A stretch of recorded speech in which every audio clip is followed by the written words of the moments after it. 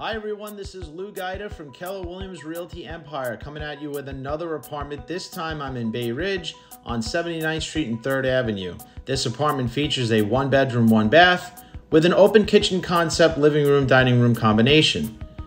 As you can see when you first walk into the apartment, you have your bedroom to your left. And then as I pan over, you'll see an artificial fireplace.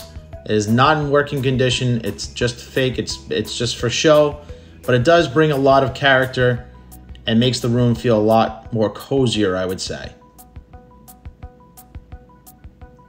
This apartment uh, has plenty of sunlight, as you can see. This was taken around 11 o'clock in the morning.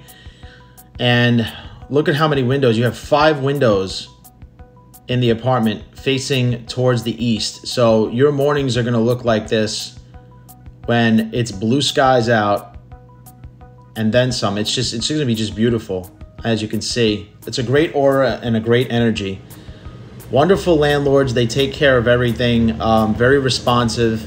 The heat and hot water is included. As you can see, the uh, the appliances are in very good shape. The last tenant that lived here was here for eight years, so that should tell a story. For eight years they lived here. They loved it here.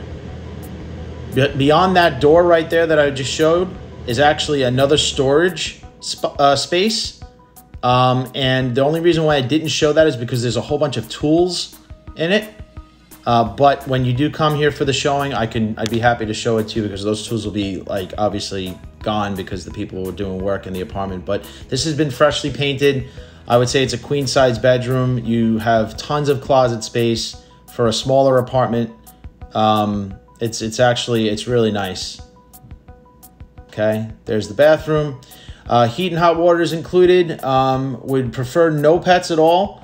Um, and if anybody is interested, you know of anyone, please feel free to contact me. My name is Lou Guida with Keller Williams Realty Empire.